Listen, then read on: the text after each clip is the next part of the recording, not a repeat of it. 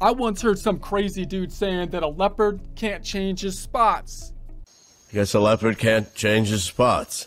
Uh, I don't know that much about leopards. That was It's like, really? I don't buy it. It's actually a proverb. That was actually a tiger. I mean, if we can change a man's body to resemble that of a woman these days, it can't be too difficult to remove a few spots, can it? She had the patch sewn in. You can't remove it. I- I- It's not like the spots are connected to the body's plumbing system or anything, right? All right. Ow! How hard could it be? Oh, no.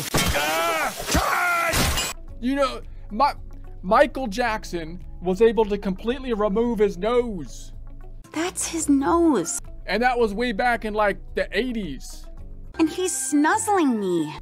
I bet you your average teenager could change the leopard spots Hey, how about blue?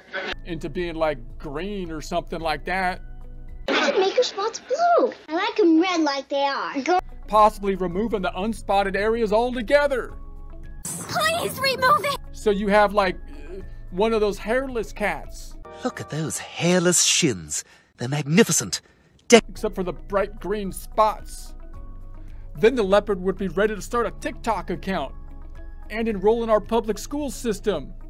The leopard's like, hey, it's just another furry here. Yeah, I guess he kind of reminds me of you. You guess?